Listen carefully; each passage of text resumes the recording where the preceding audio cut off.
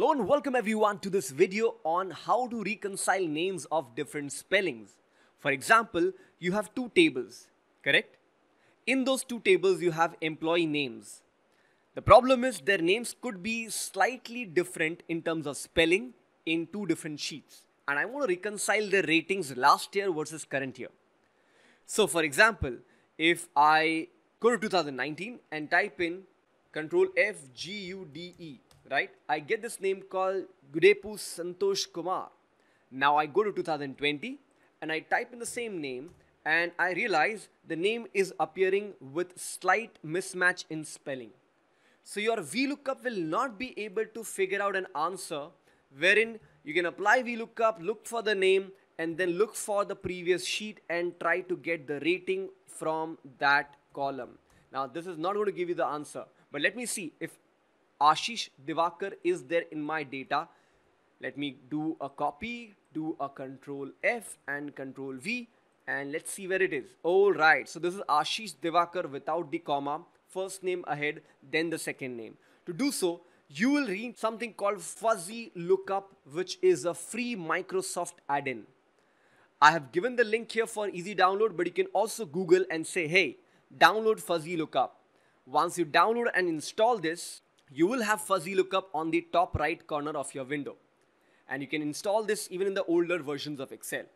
So now, let's see how to use this. First, I go to 2020 ratings. My objective is to find out these employees' last year's rating. To do so, I convert both these tables into a proper table form by going to insert and clicking on table. The shortcut key is Control T. The reason for that is fuzzy lookup needs you to convert the data into a tabular form using Control T and only then it will speak to you. So I go back to 2020 ratings after having converted both these tables into a proper table format. Now, let's say I put my cursor in one of the blank cells here and I go to fuzzy lookup. I realize that there's only one button under fuzzy lookup and let me show that once again. There you go, fuzzy lookup.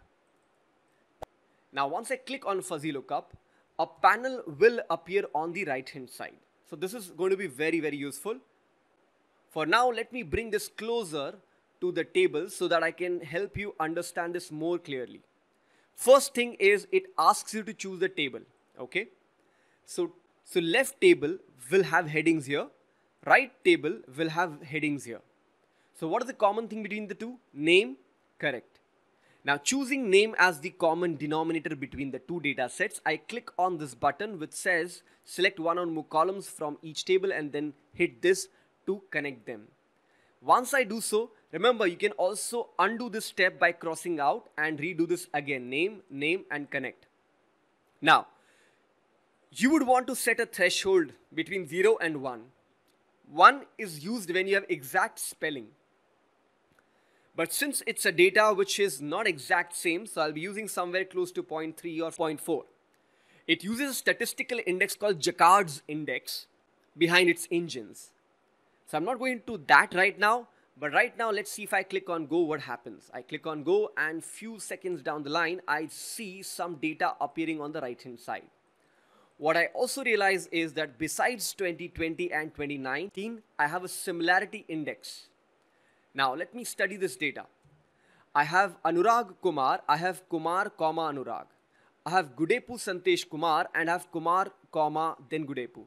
Notice the similarity index is also given to help you indicate which are the most similar ones. So once you've applied this, you may also do this again. Let me show that once again. Let me delete this. Why don't I choose the table 1 first and then table 2? In this case, the first table is 2020 and that will be taken as a benchmark for list of all employee names. Now I click on go. Uh, must define at least one fuzzy join. Okay, I may have missed something. Yes, I missed clicking on this button. So remember that you must also click on the button. Then you click on go and your answer is going to be ready in no time. Now I will be doing what? I'll be going to the cell similarity and using that as a benchmark to sort it. Sort based on similarity in largest to smallest sequence so that the highest similarity names are on the top. Now you can judge for yourself. you could not have done this reconciliation with the help of VLOOKUP or index or even XLOOKUP for that matter.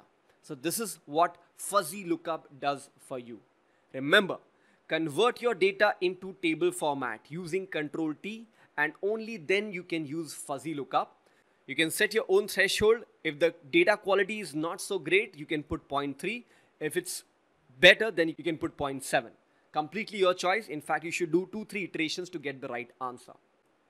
So I hope you understood the concept of fuzzy lookup and something similar exists in Power Query also when we go to merge query. But that's a story for another different video.